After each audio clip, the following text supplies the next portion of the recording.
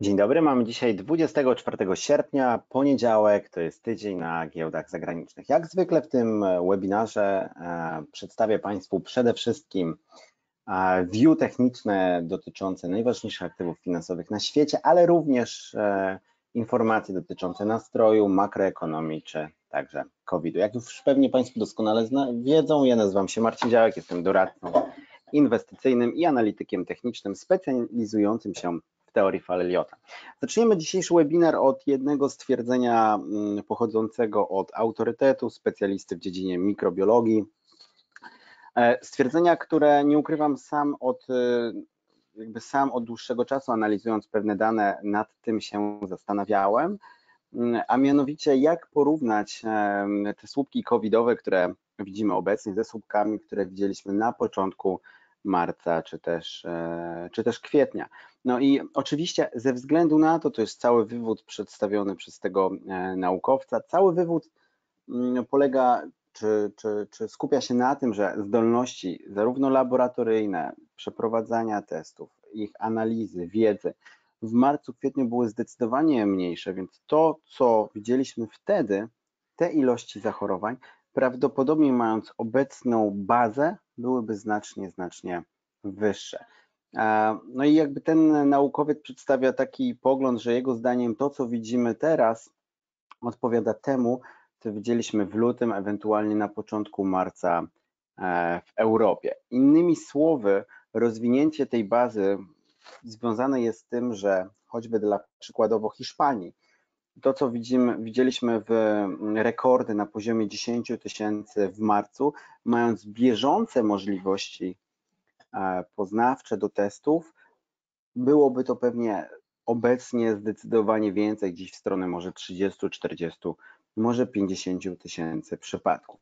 Natomiast ten view, który, e, czy ten pogląd, który tutaj jest widoczny w opisie tego, w tujcie tego naukowca, te budowanie bazy, nie ukrywam, że również doskonale jakby sprawdza się z hipotezą, którą podawałem Państwu od dłuższego czasu. Hipotezą, która próbowała tak naprawdę znaleźć to, czy wytłumaczyć to, dlaczego e, po ściągnięciu e, obostrzeń e, wiosną tego roku, w połowie maja, nie doszło do gwałtownego przyrostu przypadków koronawirusa. No i ta główna hipoteza mówiła o pogodzie. Wraz z przekroczeniem tego punktu krytycznego, czyli z przejściem już po połowę lipca kiedy to zaczęła nam spadać średnia dobowa temperatura, kiedy zaczęła nam spadać wilgotność, zwłaszcza kiedy zaczęło nam spadać też nasłonecznienie, bo ten indeks UV był pierwszym z trzech parametrów, który przekroczył punkt e, krytyczny, ewidentnie warunki do rozwoju wirusa zaczęły się poprawiać. I to, co widzimy teraz, to budowanie bazy, to do, mm, tak jak ten naukowiec porównuje do sytuacji z lutego, marca, związane jest moim zdaniem bazując na tychże danych, które mamy teraz dostępne, związany jest oczywiście ze zmianą warunków pogodowych. Tym samym w kolejnych tygodniach, jeśli nie miesiącach, będziemy widzieć dalsze wzrosty zachorowań. To, co widzimy w, w poszczególnych krajach, to jest nic innego jak powoli rosnące bazy, które najprawdopodobniej skutkować będą tym, że na przestrzeni najbliższych trzech miesięcy epidemie będą wybuchać w kolejnych kolejnych krajach. E,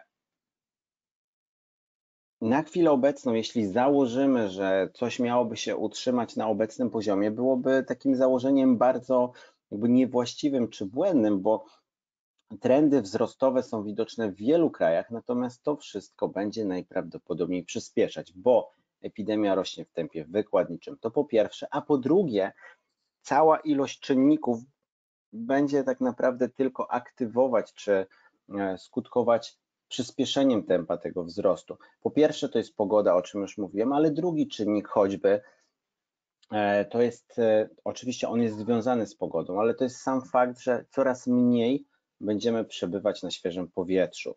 Coraz więcej interakcji będzie pod zamkniętym dachem, czy to w jakimś galerii, sklepie, biurowcu, E, to wszystko będzie też skutkować tym, że inaczej będzie to wszystko wyglądało, inaczej będzie się wirus e, zachowywał, łatwiej będzie można się nim zarazić. No i kolejna rzecz, która jest oczywiście niezwykle istotna, to fakt, że w przyszłym tygodniu rozpoczyna się rok szkolny, czyli idealne warunki do inkubacji wirusa, bo to, że nawet gdybyśmy idealnie mieli social distancing, mało dzieci w klasie, to to niewiele zmienia, bo ten wirus i tak będzie w powietrzu, e, powietrzu cyrkulował. Mm, tu cały czas oczywiście jest ten pogląd, co się wydarzy i jaki będzie poziom transmisyjności wirusa wśród dzieci. Natomiast ewidentnie, patrząc po tych prostych danych, widzimy obecnie wzrost, mamy funkcję wykładniczą i mamy czynniki, które będą skutkować przyspieszeniem, tak jak przed chwilą powiedziałem, więc najprawdopodobniej kolejne tygodnie to będą te scenariusze, które kreślą epidemiolodzy od dłuższego czasu. Czyli będziemy widzieć stopniowy wzrost zachorowań, te wzrosty zachorowań we wrześniu zaczną zdecydowanie przyspieszać i myślę w stronę kolejnie października i następnych miesięcy. Będziemy widzieć powoli także wzrost hospitalizacji, będą zajmowane miejsca w szpitalach, aż dojdzie do przeciążenia służby zdrowia. Patrząc po bieżącym nastroju na rynku, najprawdopodobniej to jest bazowy scenariusz. No i pytanie jest kluczowe. Co się stanie z zachowaniami ludźmi i z nastrojem na świecie w momencie, gdy zderzymy się z tym punktem przeciążenia służby zdrowia?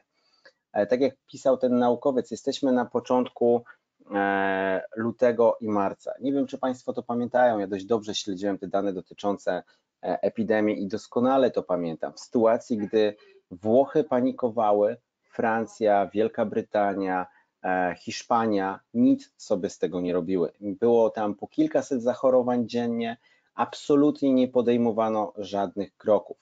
W momencie, gdy e, w ich krajach doszło do, w tych krajach, które wymieniłem, doszło do przyspieszenia tempa wirusa, doszło do zatkania służby zdrowia, dopiero wtedy widzieliśmy mocne negatywne jakby konsekwencje i kroki. Tym samym nikt teraz oczywiście znowu nie robi sobie z tego, że mm, te przypadki nam przyspieszają, no i najprawdopodobniej należy e, ekstrapolować tą taką ułomność w zarządzaniu pandemią na kolejne, na kolejne tygodnie.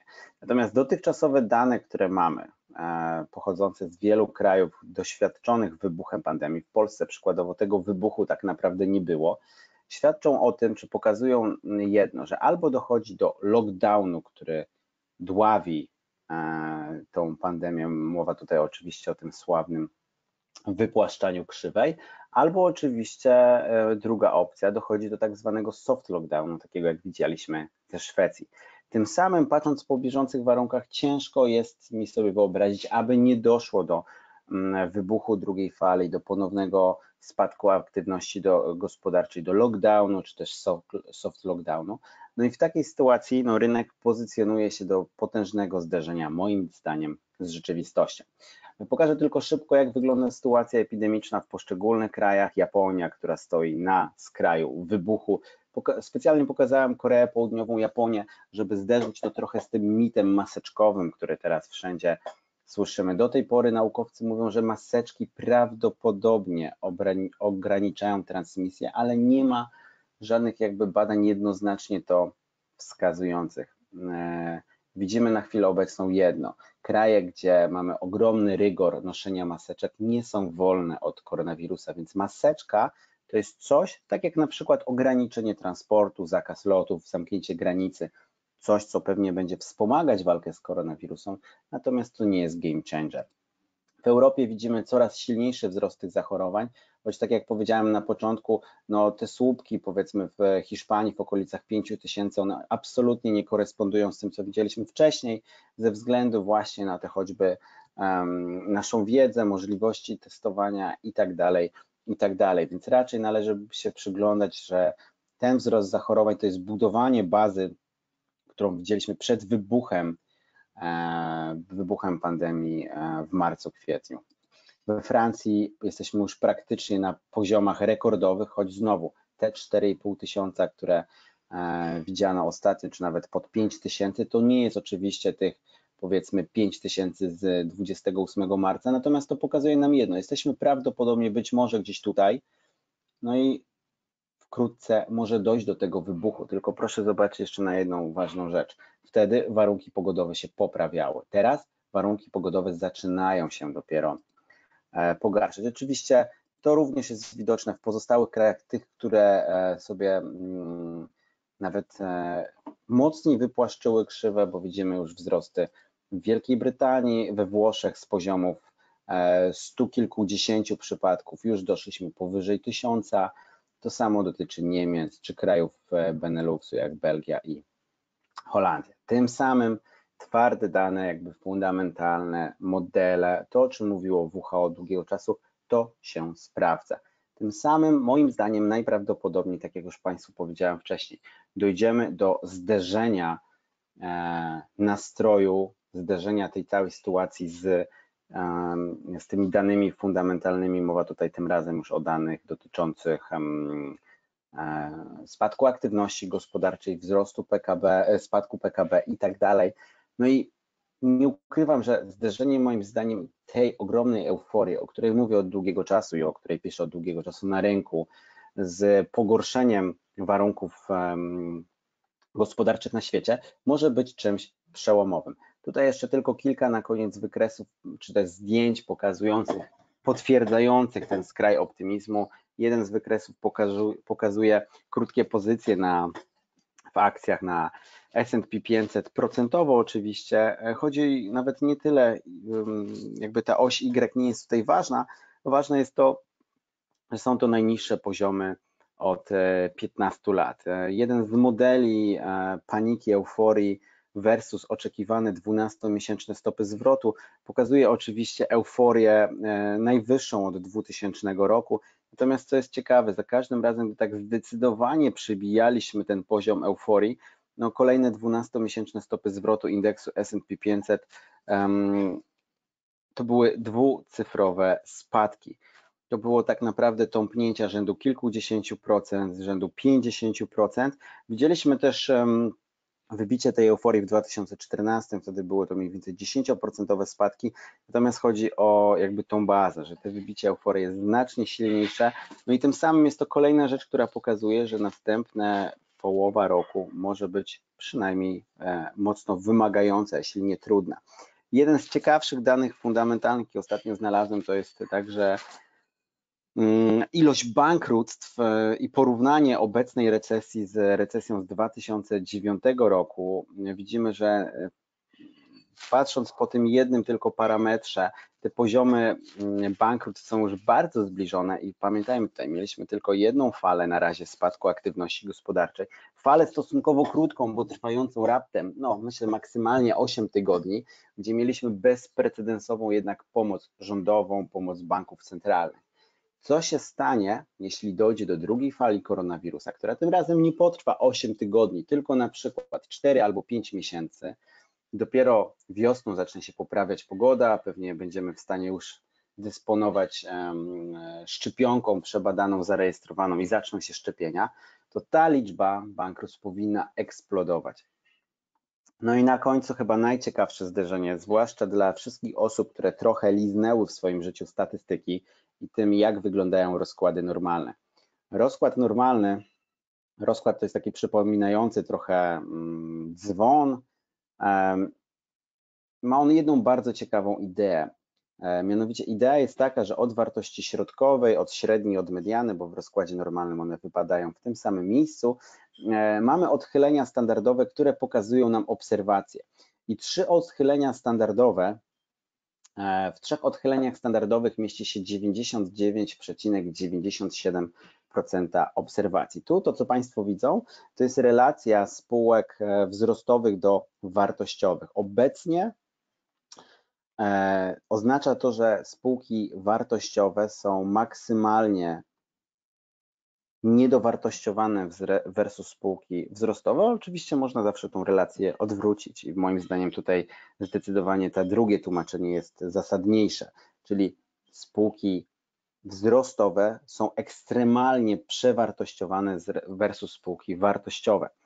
E, no to się nie zdarza, jesteśmy gdzieś totalnie w ogonie, no to pokazuje jakiś totalnie ekstremalny warunek rynkowy, coś, co wkrótce dość szybko powinno się zmienić, bo e, dosłownie w jeden rok tak naprawdę przeszliśmy z poziomów e, gdzieś już powiedzmy skrajnych do totalnego jakiegoś ogona, to pokazuje ekstremum i miejsca do dalszego pogłębiania tego ekstremum już za bardzo nie ma.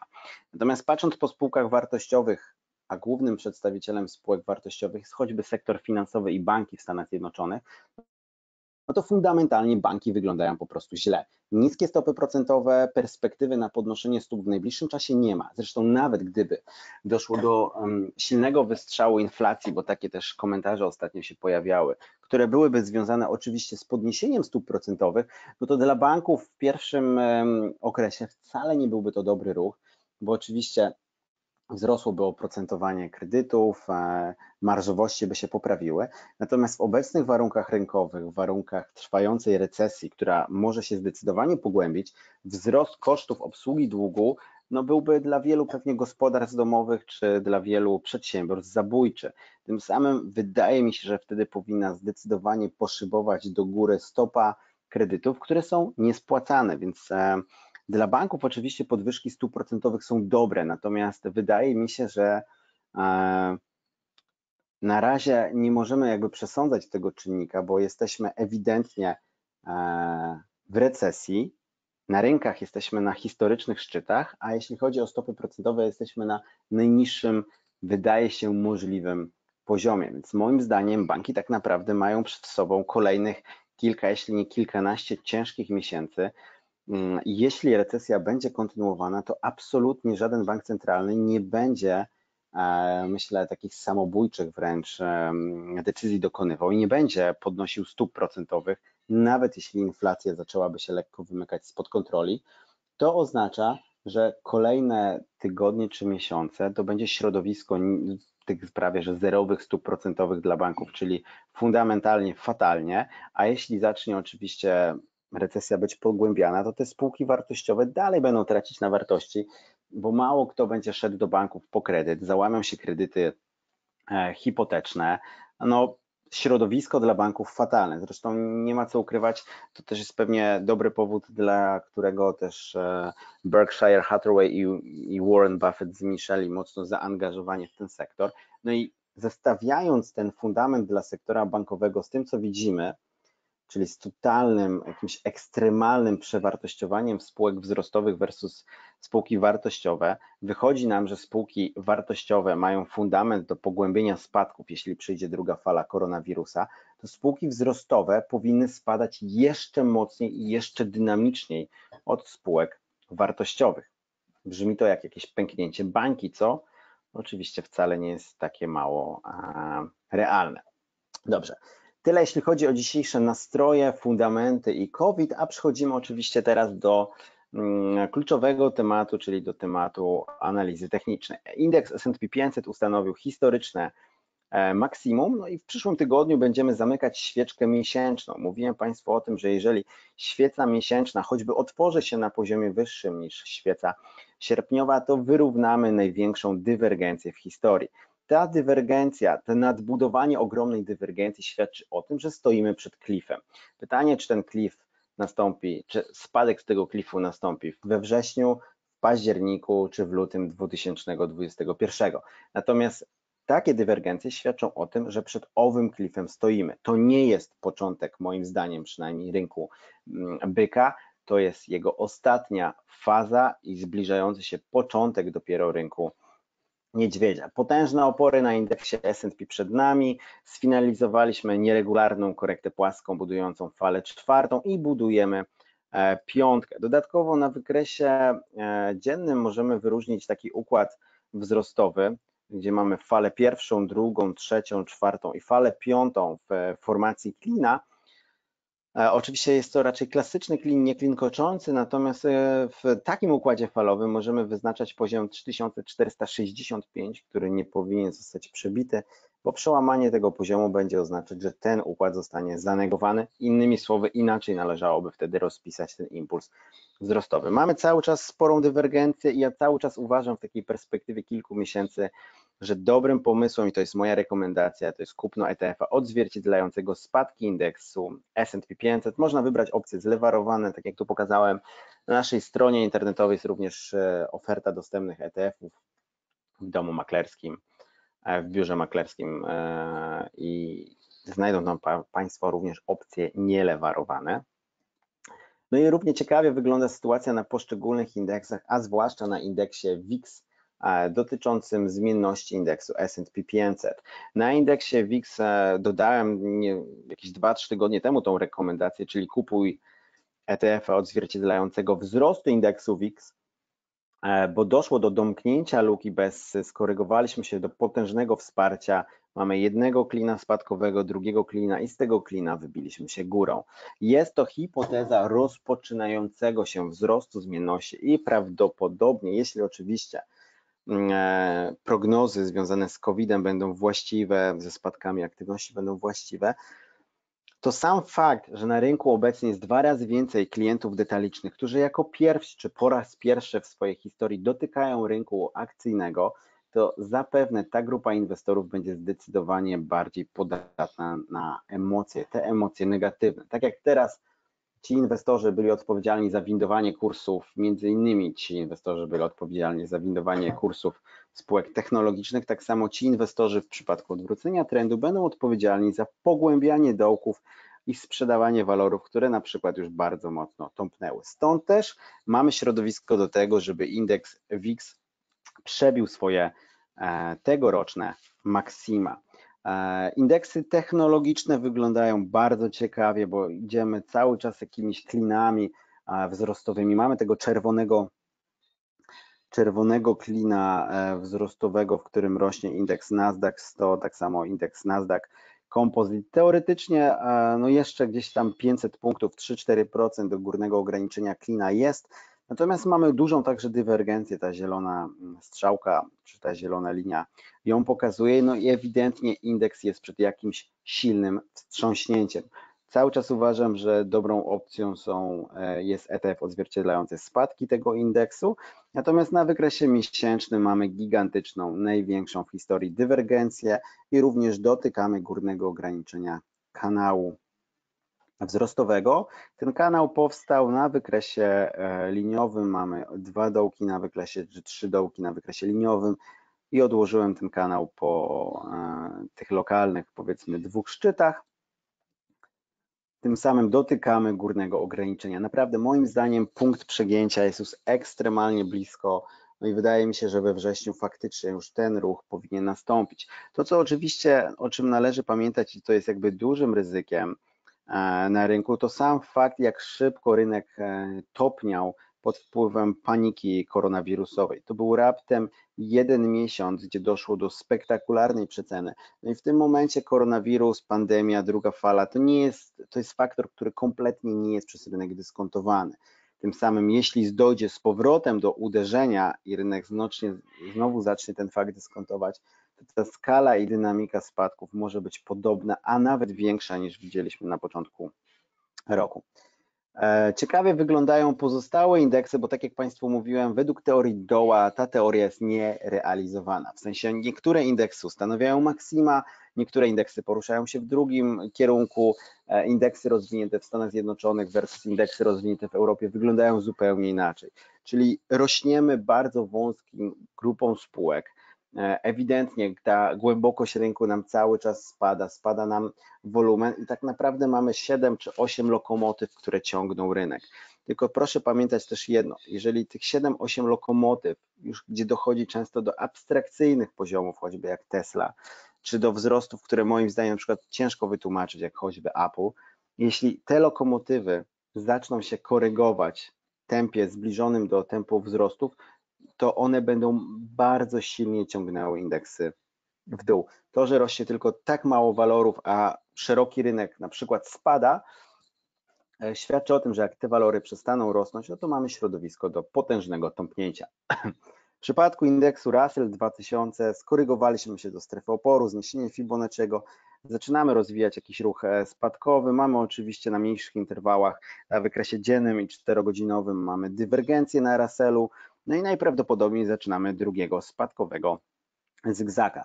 Nyse Composite Index na wykresie miesięcznym potężne opory, zniesienie Fibonacciego, a na wykresie dziennym wybija się, przebija linię trendu, wybija się z czerwonego kanału wzrostowego, No i wygląda na to, że może zaczynać sekwencję spadkową, czyli zarówno NYSE Composite Index, czyli szeroki rynek E, NYSE, do tego mamy e, Russell 2000, czyli małe, średnie spółki. Mamy tu ewidentnie układy już pro-spadkowe z Nasdaqami, które już zdecydowanie są powyżej swoich historycznych maksimów i z indeksem S&P, które te historyczne maksima w tym miesiącu pokonuje.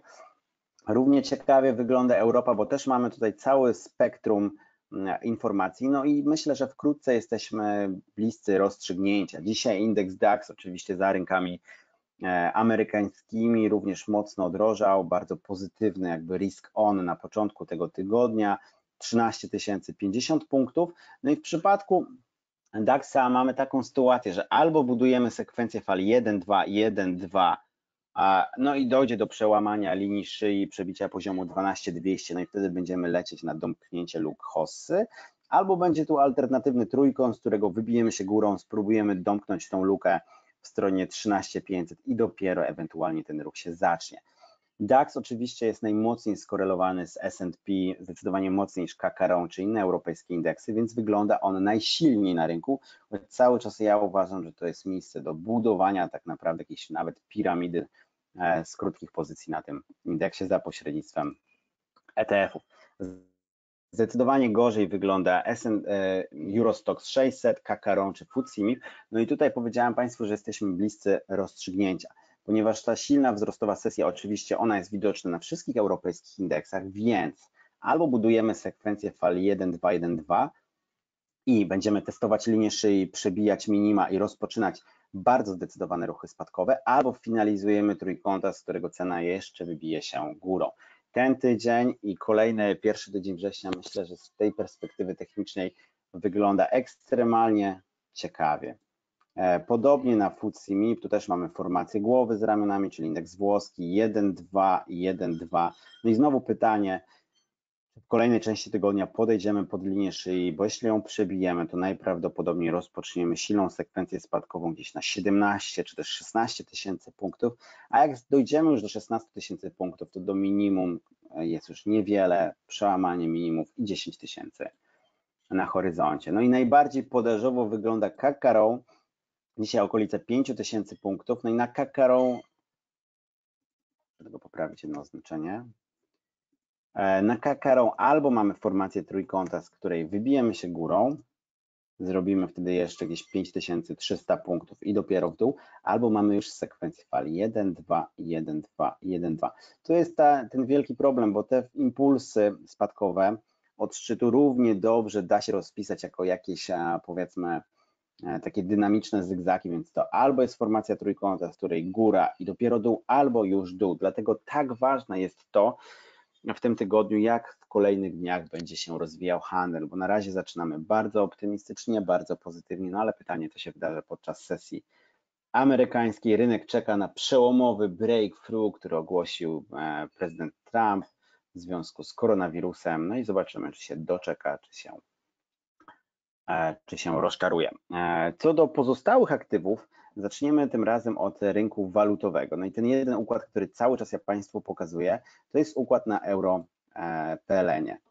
Nie będę się kłócił, co się będzie działo w przypadku euro, Natomiast mamy bardzo silny jakby układ prowzrostowy na europelenie, jak i na indeksie e, dolara. No i to, co można sobie najprościej fundamentalnie wyobrazić, to, że dochodzi do drugiej fali koronawirusa, która skutkuje jeszcze większym spadkiem aktywności gospodarczej, paniką na rynku. Mamy mnóstwo inwestorów detalicznych, świeżych na rynku, których nie było podczas tego meltdownu e, lutowo-marcowego no to tym samym łatwo to sobie wyobrazić, że będzie kapitał bardzo gwałtownie uciekał do dolara i jednocześnie będzie sprzedawał wszystkie waluty ryzykowne, czyli złotówkę, czyli USD PLN, euro PLN do góry, jak i sam indeks dolara do góry, a euro USD, czyli euro dolar prawdopodobnie za umacniającym się dolarem e, w dół. EuroPLN ma szansę nawet do 6 zł i cały czas o tym mówię, bo to jest układ długoterminowy, wybicie z trójkąta, natomiast jeśli rozpocznie się recesja i złotówka zadziała podobnie jak w 2008 roku, czyli będzie nam ten e, szok zewnętrzny mocno mm, e, próbować amortyzować, wzrost do 6 zł to jest spotęgowanie wyniku na każdej inwestycji w euro, czyli choćby na każdym ETF-ie w euro. Natomiast indeks dolara bardzo zareagował ostatnio na tej długoterminowej linii wsparcia. Mieliśmy E, mieliśmy do tego e, dywergencję, tym razem tą pozytywną dywergencję na dołkach, na wykresie dziennym, tak samo na wykresie czterogodzinowym, no i tym samym zakończyliśmy prawdopodobnie falę A, falę B, no i ta wzrostowa fala C świadczy o możliwości nawet 20-20 kilku procentowego umocnienia, e, umocnienia dolara. To jest bardzo istotny jakby czynnik cenotwórczy również dla surowców, bo one są wyceniane w dolarze.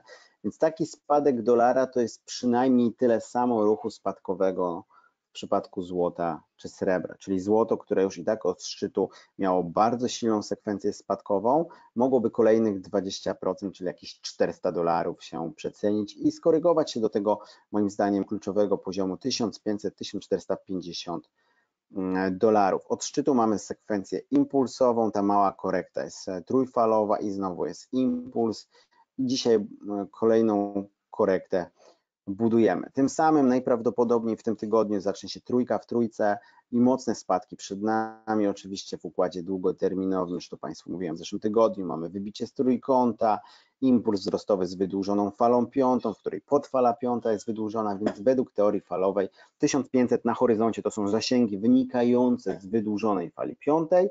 One się idealnie jeszcze pokrywają ze zniesieniem Fibonacciego, mamy dywergencję, Stąd najbliższy ruch to jest silny ruch spadkowy na złocie i dlatego cały czas utrzymuję tą rekomendację na spadki złota przez mm, kupno tego oto ETF-a. Tak samo w zeszłym tygodniu mówiłem o tym, aby jakby spiramidować pozycję na, na, na srebrze w związku z tym ETF-em, bo mamy tutaj podobny układ, tyle że potencjał ewentualnego przereagowania na srebrze jest, jest jeszcze większy, a mamy podobny układ na w wykresie dziennym. Mamy tutaj prawdopodobnie dynamiczną kombinację podwójnego czy potrójnego zygzaka wzrostowego, a od szczytu mamy układ 1-2 i prawdopodobnie znowu 1-2. Ok, na razie to wygląda trochę na formację trójkąta, natomiast najprawdopodobniej tak zawsze wygląda początek impulsu. Jeśli to będzie impuls, to srebro powinno szybko gdzieś schodzić w stronę 18 dolarów i tam, że tak powiem kolokwialnie się zobaczy. Co się wydarzy po powróceniu, po powrocie do tego e, wsparcia, do tej przełamanej ówczesnej linii e, ramieniu trójkąta.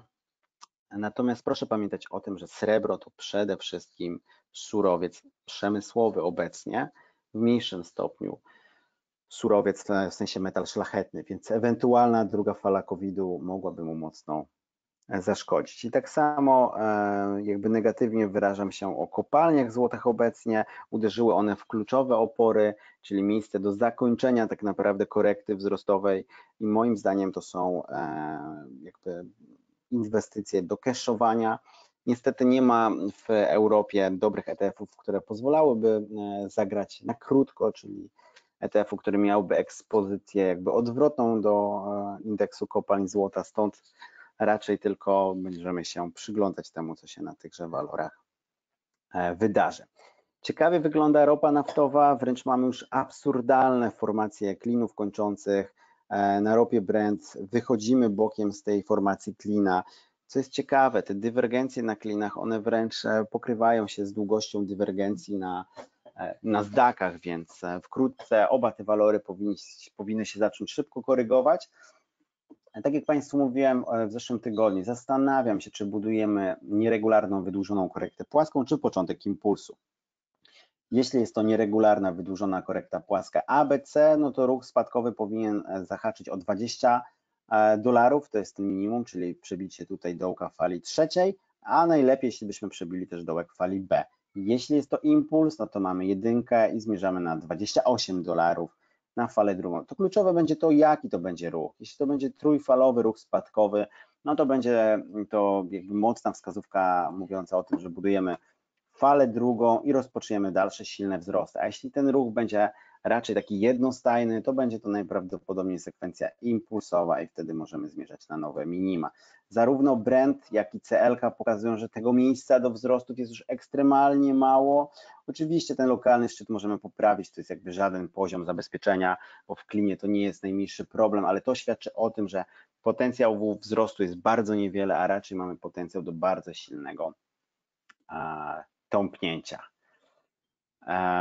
Dobrze, i na końcu może gaz ziemny, którego ostatnio nie pokazałem, bo na gazie mamy prawdopodobnie sekwencję impulsową. To znaczy, że po jakiejś dość głębokiej trójfalowej korekcie, która zeszłaby poniżej poziomu 2 dolarów, będę się zastanawiał nad jakąś opcją bullishową nad tym walorem, ale dopiero po sekwencji korekcyjnej. Na dzisiaj w tygodniu na giełdach zagranicznych to wszystko. Dziękuję za uwagę. No i do usłyszenia w przyszłym tygodniu.